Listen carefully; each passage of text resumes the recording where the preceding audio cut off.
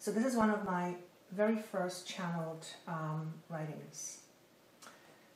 Time is the wisest thing of all. It knows no boundaries. Wherever you turn, it's there, just like faith. It's either in front of you or behind you.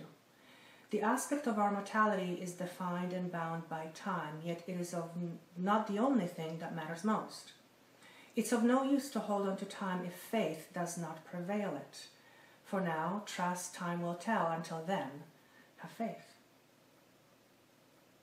Hmm.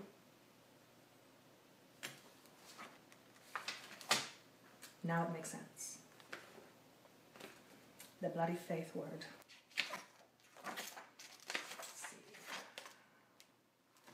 Automatic writing, um, or inspira- inspirational writing as they some call it, um, my first attempt at it was what I just read, and that was on March 20th, 2010. I was doing a workshop, a spiritual workshop, and one of our exercises was to do an inspired writing.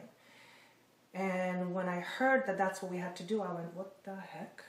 Um, I didn't know how to do it. So basically, we um, were supposed to have a bit of a meditation and ask our higher self to give us inspirational message and when that happened this writing just flew out of my pen like no tomorrow and there it was.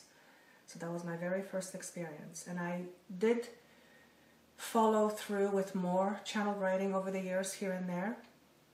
So I, there, there is more and that i'm currently doing um, a lot more